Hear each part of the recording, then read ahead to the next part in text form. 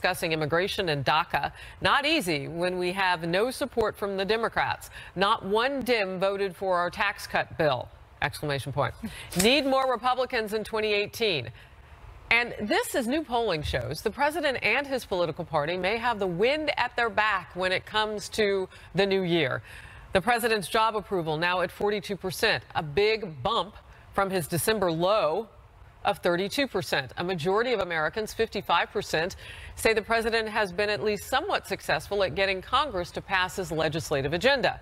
A reversal from December before the tax bill was approved when it was only 42% who felt that way. And if the midterm elections were held today, this is interesting. 47% of registered voters say they would vote for or lean toward voting for the Democratic House candidate in their district, compared with 45% who would support the Republican. A dramatic shift from December when Democrats held a whopping 15 point advantage over the generic ballot. Uh, Buck, what's driving this? Well, one, you have tax reform with the benefits of all these different people across the country getting checks, getting raises, and Democrats have really positioned themselves right now as the party of scowls and frowns. We saw it at the State of the Union address. We see it anytime a Democrat elected representative is asked, what do you think about the $4,000 on average that people have now they didn't before? It's tough to see them saying, well, it's not a lot of money and not think to yourself, these people are really out of touch. Also, if they're completely unwilling to look at Trump seriously on the issue of immigration, given that Trump's offer is is a little bit of a not a betrayal of his base, but it's not what he promised his base. I think we could say that. If they won't even try to meet him halfway, I think they just become the party of unhappy and obstruction. So two things I want to draw everybody's attention to the left side of your screen. That is the lectern that we're watching that the president will step up on that stage behind and give his speech to the GOP policy retreat today. As that happens, uh, we'll take you there live. You know what's interesting? Um, let's get back to those crumbs that Nancy Pelosi was talking about. I, am a little confused. Well, she is very, very, very, very, very, very wealthy. Did I say seven? I should have. so, Trish, I mean, when you talk about who's in touch with the American people, can can you look at her to determine what is crumbs for everybody else? I'll tell you, Harris, she has become the Marie Antoinette of the Republican Party. She really has, and especially when she's talking about things like crumbs. $1,000 is a lot of money to a lot of people in this country. And I thought the Democrats were about empowering the middle class. I thought they were about trying to grow their economic opportunity. Well, Instead, we've got basically someone who's saying what the Republicans are doing right now, which is, by the way, growing economic opportunity in a very big way for the middle class, um, is not helping. It's nothing. It's it, it, a thousand bucks is insignificant. Well, she is increasingly uh, out of line with where the rest of the population is. And by the way, this is why Hillary Clinton lost. Let's not forget. She seemed Marie Antoinette like. She seemed like she was part of the globalist elitism that was making it harder for everyday people. And this is what Nancy Pelosi is taking on. Jessica? Well, when I think of global elites and I see the entire Trump cabinet prancing around Davos, that uh, certainly brings up a little bit tinge of hypocrisy there. But I, am all for globalism, and I think all of that is important. And and you are right that Hillary Clinton seemed out of touch, and Nancy Pelosi seemed out of touch. A thousand dollars is a lot to everybody. I don't care who you are and how much money you have, actually. And it's a it points out a really powerfully messed up messaging issue that Democrats wow. have today. Well, it just does. Even if you think certain things, you don't have to say them. And there's a way. There's an editorial today in the Washington Post by Dana Milbank that I would encourage everyone to look at about how bad the Democrat performance at the State of the Union was, and how much more powerful it would be to talk about what's going on with the GOP tax bill but and the implications no for further, layoffs. Jessica, and, than the fact that there were five rebuttal speeches necessary. It just does seem like the message from Democrats still is resist Donald Trump. Yeah. It's isn't it time to come up with a new message? I mean, it's like February that, well, 1st, 2018. It seems like that has to be the plan. If they're not going to engage seriously on immigration, which I think was the policy focal point of the speech in terms of what's coming up, what's mm-hmm. uh, in the future, in the near future, probably the next few weeks even, uh, the fact that you haven't had Democrats saying, you know what, that's actually a pretty decent opening offer with Trump. We're going to talk to him about it. They are just standing there, arms crossed. We want nothing to do with it. Donald Trump won based on message and personal style and flair, I guess you could say. If you add on top of that results, which is what we're seeing right now with an economy, yeah. how could Democrats expect to do well in the midterms? I'm just, I'm what, hashtag well, resist is not going to do it except in a few hashtag, hashtag resist has done gone very well for us in special elections. It absolutely has. I mean, our turnout game. What are you? Yeah. Which one? One, right? In Virginia, why, in New Jersey. No, absolutely across the country. No, Alabama we would agree they didn't put up the best candidates. Yeah, yeah the child molester is not the best candidate for sure. But we have seen increased turnout and enthusiasm. You had things like the Women's March still going strong, and we do need to make sure that people turn out in 2018. But to your point about the five rebuttals, I had tremendous problems with that. I mean, the party picked Joe Kennedy well, the third to do it. So I don't know why Bernie Sanders needs to do it. I don't know why. But what was the message? What was of, of Joe Kennedy? Any of them? Just oh, give me inclusivity, diversity, how much stronger it makes was our country that we message? don't have that we are all equal fundamentally. There's a great piece about it talking about how this is going back to rhetoric from Abraham Lincoln, talking about we are all What's created going to equal. Be important and we didn't it, see that in the State of the Union. Is if they can come up with a message on the economy. They yes. did yes. not do that in the last presidential election, and it hurt them badly. Mm -hmm. And guess what? They lost a lot of ground because now you have a president that's going to be able to tout a potentially booming economy at the time of midterm elections, uh, and, and members of the Republican Party can point to a roaring stock market, jobs growth, people having more money in their paychecks, and it's going to be harder. It is. I do wonder why everyone's retiring, though. If things are looking so good well, for Republicans, for different reasons. Well, these are a lot of committee chairs that are leaving when they are certainly not too old to be there in a very powerful position. Look, Representative Joe Kennedy III on mm -hmm. your side of the political aisle was one of those five rebuttal speeches, and he even conceded the fact that you know uh, the the economy is what it is, and I mean he said As some he not glowing words necessarily, but positive words words about the economy. It's so important to do that. Democrats have some serious work to do on this issue. All right, we continue to await remarks from President Trump. I can tell you now that he has arrived at the venue. So we are literally just a few minutes away. That is the GOP retreat, where they set their policy going forward. Uh, that's expected to start at any moment from the president. We'll bring you his remarks when he begins. Plus, new developments in the Russia investigation. Now the president's attorneys say they're not sure if special. President Trump is gearing up to deliver remarks at the annual GOP conference in West Virginia. Just moments from now, we'll bring you that live when it begins. This, as the Wall Street Journal reports, former Deputy FBI Director Andrew McCabe knew about thousands of new Hillary Clinton emails found on former Congressman Anthony Weiner's laptop. About a month before then Director James Comey told Congress about them. Meantime, CNN reporting controversial FBI agent Peter Strzok helped draft the first cut of Comey's letter notifying Congress of the decision to reopen the Clinton email investigation, just days before the presidential election. And according to text messages Strzok sent agency lawyer Lisa Page, he also helped review those new emails and determined there was, quote, no new classified material.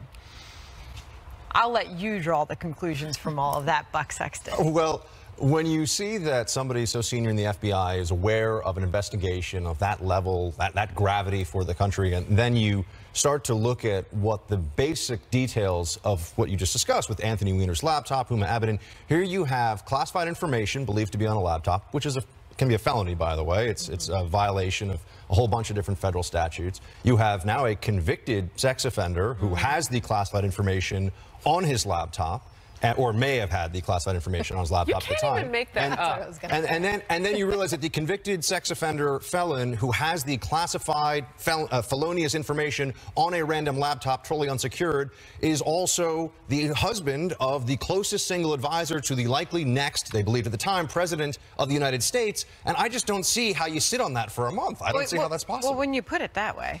You know, Harris, as we've been covering this, the ins and outs of all this, and, and it does kind of get confusing at times, and you have to keep track of it all. You're left kind of wondering, and I'm sure American people were left wondering, like, was anybody really doing their jobs and were they doing it the right way? Well, and, you know, I mean, Hillary Clinton had to, as uh, Secretary of State, uh, agree to the terms of and make sure she signed and understood what classified information was. She actually was in charge of determining whether or not classified information was born that way or should be classified. So she was what we would call in our business an expert. so what you would want your expert to be able to do is also to delineate that information on their own personal devices. Mm -hmm. That would be really helpful if you could do that. So then the question becomes what you're asking. Was this uh, a level of incompetence? Or was this something that was determined that would help her do her job? Mm. I mean, we still have a lot of questions all these months later. Well, don't forget, Andrew McCabe's wife was running for office and she yep. was getting campaign donations from Clinton associates. Mm. I mean, that in and of itself to me is a massive red flag. It's a conflict of interest. There's no way that he so, wouldn't have some personal bias there. So now we find out he sits on this thing for a month. So Trish, again, do you think that they are just incompetent at their jobs and they don't understand no, I don't what think they're, they're signing when they say we get it and we know how to do it? No, I think it's far worse than that because to me, the fact that your wife is getting money from people associated with Hillary Clinton while your wife is running for office, you can't possibly. It's an important fact not to be not have some bias Jessica going into that investigation. And if nothing else, it's the appearance it's of bias. Face. It's the appearance of impropriety. Therefore, McCabe should have excused himself. I, I, totally disagree. I think that we all live and work in a very big world here. And the idea that someone can't do their job because their wife is doing their job, especially when they are someone who has served, from what I understand, honorably in the FBI decades long, it, it just doesn't fly with me. I mean, we are dual working households. I mean, I, I don't. But she's I'm not married, talking but, about recusal from one very. But why should he have to? And there's no because it's an ethics issue. So, Jessica, why do you think he sat on it then? Again, do we come back well, to he's just so incompetent he doesn't know how to do his job? No, Which, I, by the way, I, if that's the case, take him off.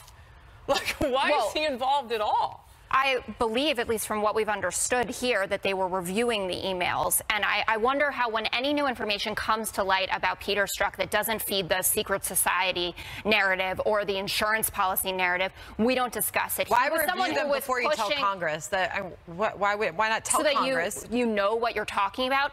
Nate Silver wrote about how this event, Comey coming forward about these emails, was the thing that sealed Hillary Clinton's fate in terms of the polling and lost her the election. So when you're dealing with something that serious, why not take some time and go through it before you take do that? Into and why not acknowledge the election as to how you handle I mean, If Comey hadn't bailed her out in the first place, Whoa. she would have lost the election because of the felony charges that she would have faced. So mm -hmm. we could play this game all day. Alrighty, so Buck gets the last word. We're going to move on. New developments in Robert Mueller's Russia investigation. Now CNN is reporting President Trump's lawyers argue the special counsel has not yet met the requirements they believe are needed to interview a president in person. They want proof that only the president can provide the information that Mueller's team is seeking.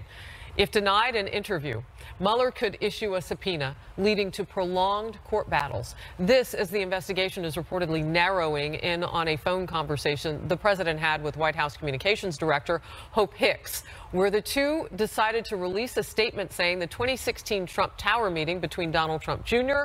and Russians was about Russian adoptions.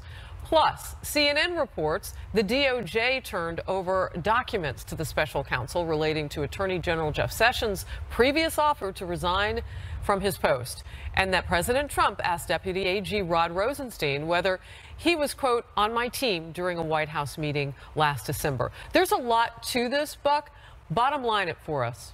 Well, you keep hearing about how there are these concerns about whether you can trust public officials, whether they can act in a way that doesn't have any politicization. And then I hear about the on my team comment and I say, okay, oh, I'm sorry, I hear about uh, on my team and I think about the wingman comment that I believe Eric Holder made about Barack Obama when he was still the attorney general. And I, I just wonder, at what, at what point does this just become a little bit absurd? I mean, at what point are we just refusing to accept that people do have political biases? They should recuse themselves whenever there's there's any appearance of impropriety. That's different than saying they're actually acting unethically. Mm -hmm. And we, I, I, get these updates every day. You see them on the screens at CNN and other networks where it's just this person is being interviewed in the Russia investigation. Do you think the president should sit down and talk to Mueller?